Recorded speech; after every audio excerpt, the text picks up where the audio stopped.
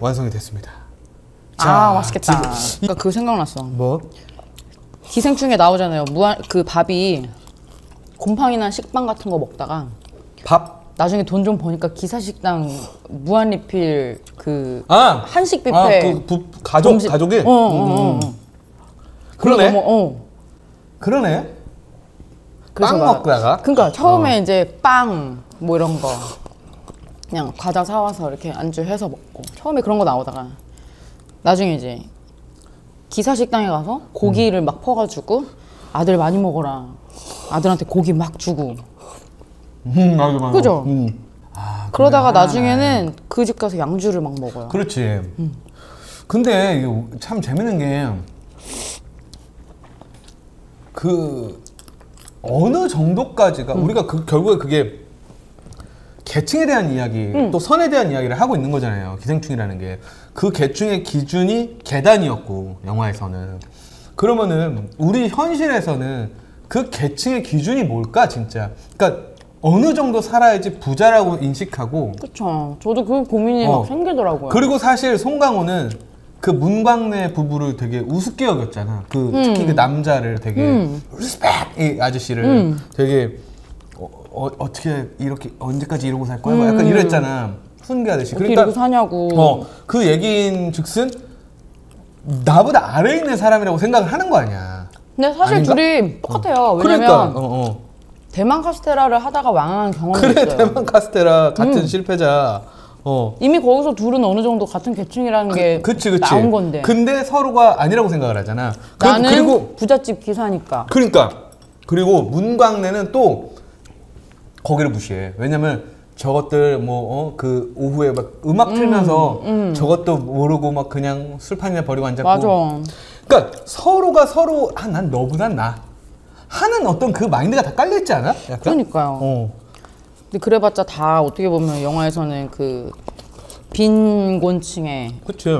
우스운 마인드를 비꼬는 그런 거였겠죠? 그러면은 그 계층에 선이 우리나라는 지금 현실에선 우리가 살고 있는 이 현실에선 뭘까요? 어느 정도가 잘 사는 것 같아, 승희 씨는요? 그러니까 그냥 그 영화에 나온 기준으로 생각했을 때 아, 영화 말고 현실에선 승희가 봤을 때. 근데 저는 이런 뭐 막 빈 부 이런 거에 대한 개념을 진짜 너무 생각을 안 하고 살았던 것 같아요. 음. 그리고 사실 제 주변에 있던 친구들 중에 정말 그런 기업의 자제인 또 있었어요? 잘 사는 친구들이 있었어요. 아 진짜 어느 왜 근데 왜 안 데리고 와요?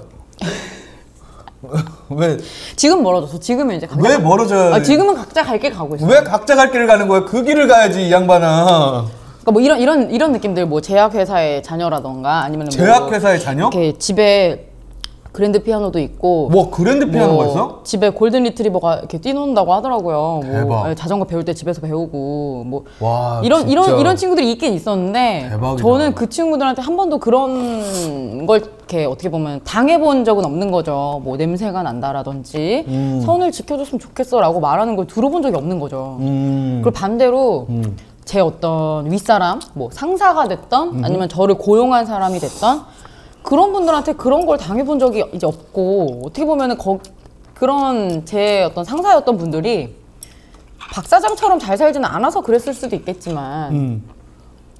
그냥 그래본 적이 없기 때문에 되게 어디까지가 부자이고 아니고 막 이런 거에 대해서 진짜 잘 모르겠는데 음, 일단은 기사를 거느리고 음. 가정부가 있어야만 집이 케어가 가능한 정도 그 정도가 부 그 부자다. 규모가 일단 부자는 당연한 것 같고 음. 근데 이게 되게 좀 기분이 나빴던 게 아마 대부분의 관객들이 딱 그 대사에서 기분이 많이 나쁘셨을 것 같아요 뭐야? 그 지하철에서 나는 냄새 있잖아 이 얘기를 해요 박 사장이 음.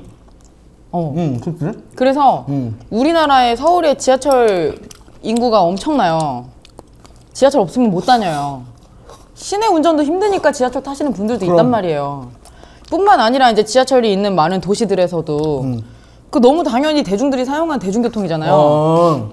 근데 지하철에서 나는 냄새가 났다. 음. 그것이 곧 하층민의 냄새다라는 식의 그 말을 딱 하자마자 그 영화에서 음.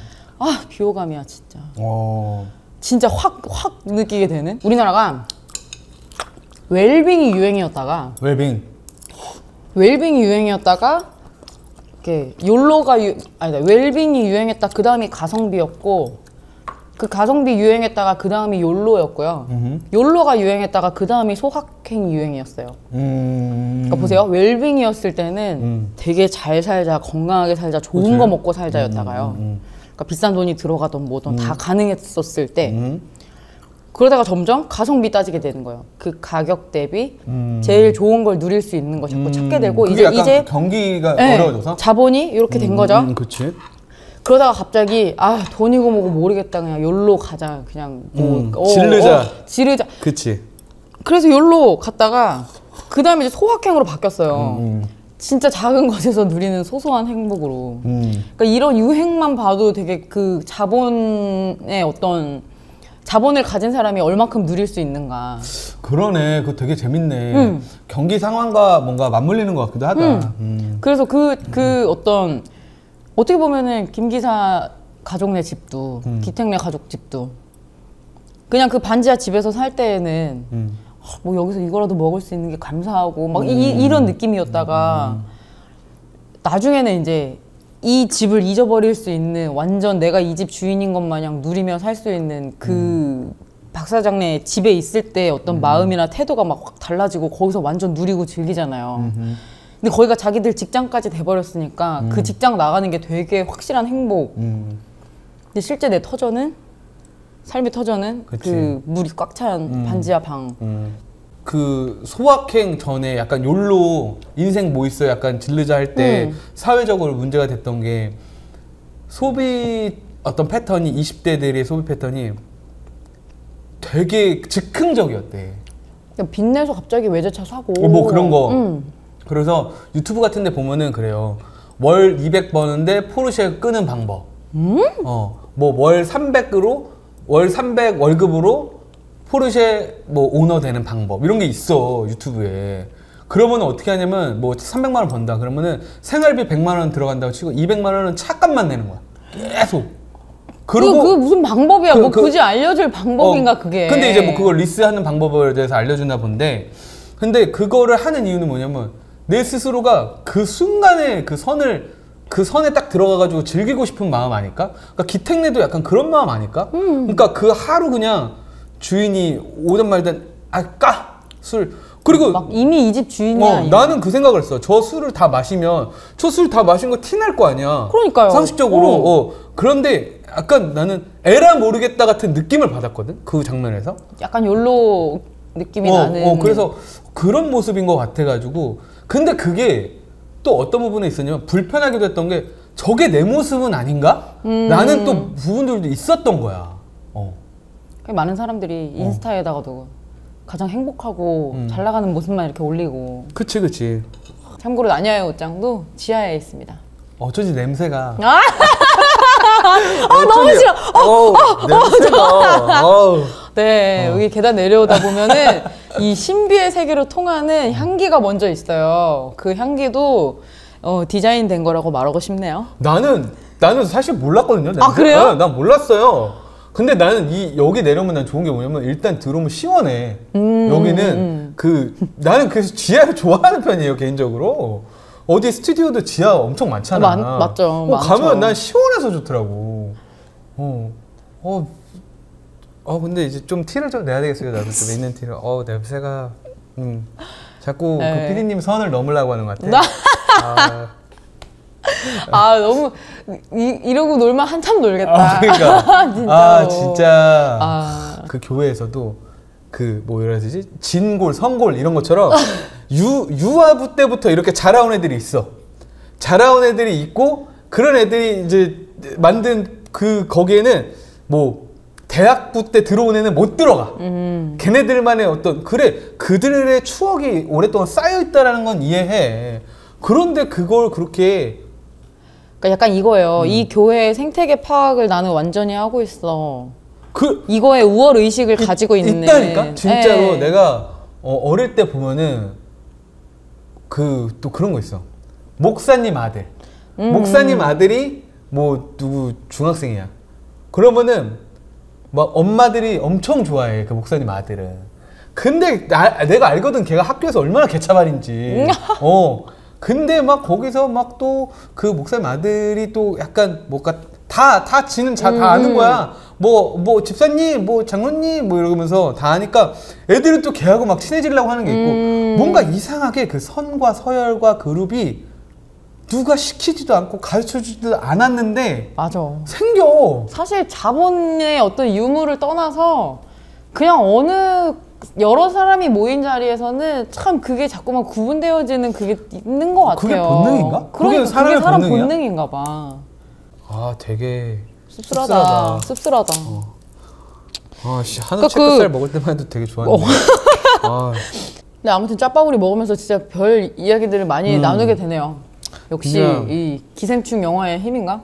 어, 나는 그게 영화의 힘이고 예술의 힘이라고 생각해요. 많은 사람들이 네. 좀 생각이라는 걸 하게 만드는. 음, 진짜 좋은 작품이라고 생각하는데 왜냐하면 나는 예술이라는 거는 하나의 언어라고 생각을 하는데 그 언어가 되게 다양하게 해석되어지고 되게 많은 그 눈덩이처럼 살이 불어날 수 있는 언어라고 생각을 해요. 우리가 갖고 있는 언어는 다 직접적이잖아.